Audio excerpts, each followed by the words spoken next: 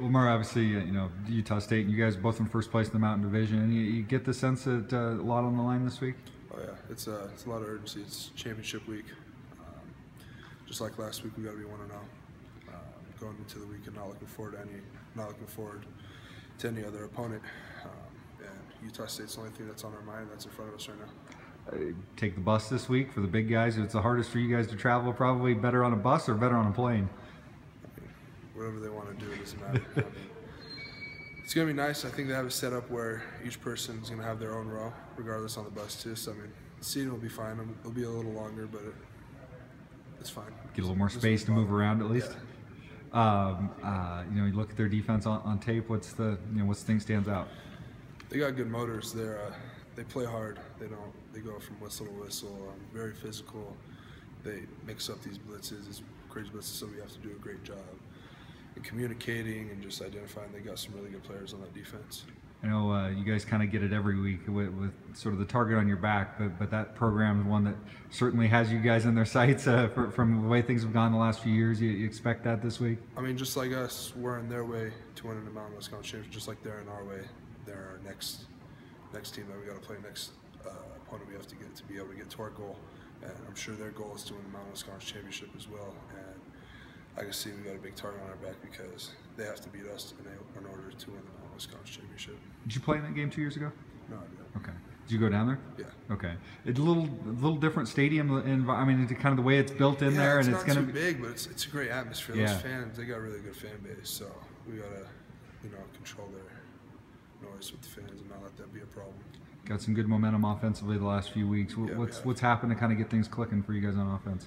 I mean, just start fast.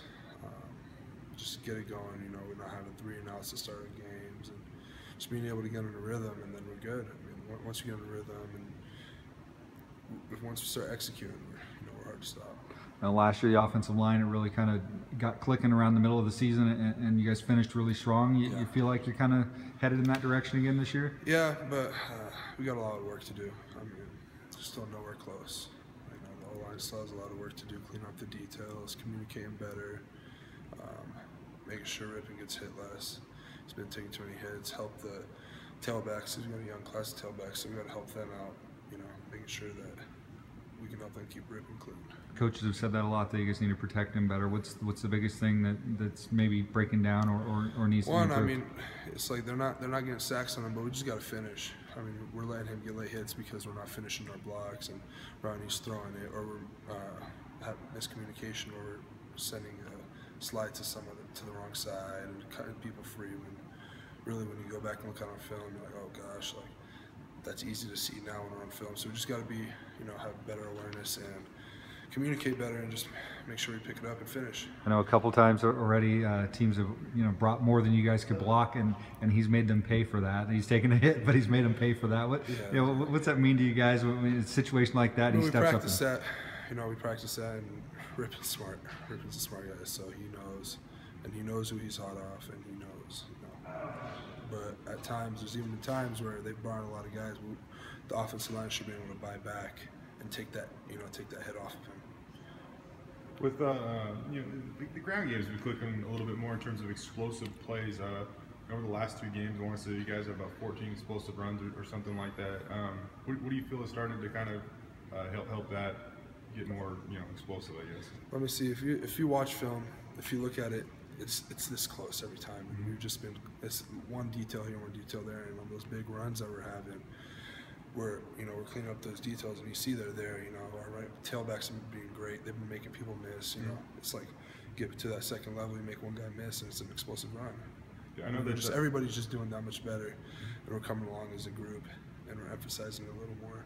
I know that you probably you guys probably like to down by the goal line and, and, you know show who's more physical, but at the same time, on, on a run like Jeremy's 56-yard touchdown run, when you can have your running back go 56 yards and virtually be untouched, what, what, does that mean for, for you guys to watch? Oh, that's great. I mean, uh, be, just being able to, I mean, we just, it's a big gash in the middle of the field. You know, they, it's just perfectly blocked. Mm-hmm. And we take that as pride when, you know, J-Mac can run from back and he can go 60 yards without being touched. That means everybody's blocked. And um, just sense of pride thing. You know, it's the O-line's dream.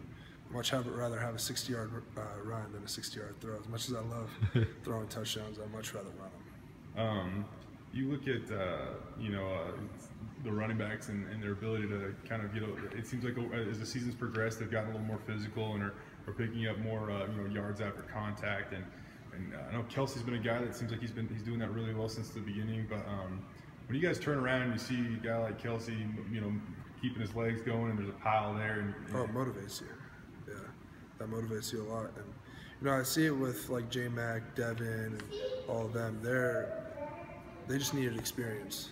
You know, they hadn't played much, and they just needed experience and be able to. Now they're starting to get a little rhythm. They're seeing the speed that they need to play at. They're just finishing better. Mm-hmm. You guys, uh, you know, one thing that seems to you know been kind of a weird quirk this year is like the third and one, the fourth and one that you guys have struggled with. It when you look at, it, is there a common theme or just kind of one thing here, one thing there that keeps yeah, coming it's up? One, it's one block every time. It's one little thing that put getting your head from here to here, stopping penetration as offensive line, that's one thing we got to preach is when we get in short yards, we got to get it. So, you know, that's been a little bit of disappointment. That's something we've been focusing on that we got to clean up because, you know, us five should have no problem getting one yard. You know, with the tight ends, running backs, we should have no problem calling whatever the coaches call. We should be able to execute it and get a yard.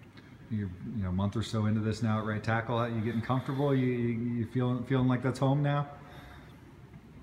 I'm getting there. I'm getting there definitely a lot more comfortable than the first couple games. Yeah. Um, starting to feel it, just get training my eyes because it's a little different speed out there. You know, a guard, you're on the guy right away. A tackle, you got a little more room to work with. you got a little other areas you got to look at. So yeah. Halfway through the season now, what uh, what are you happiest with about the, this offense and this team, and what's maybe the biggest room for growth you see, you know, going forward? What I'm happy to see about is that uh, when we struggled early, nobody like doubted the plan that the coaches put for us. They, uh, you know, we just kept executing, kept believing in it. You know, Coach Harsin always talks about conviction, having conviction in, in the game plan. We just kept having conviction, and you know, we didn't. We took that loss to BYU, but we bounced back the next week and we put on a, one of the best performances we've had on offense here in a while. Uh, so, sorry. Good, you good? My bad. I didn't mean to cut him off.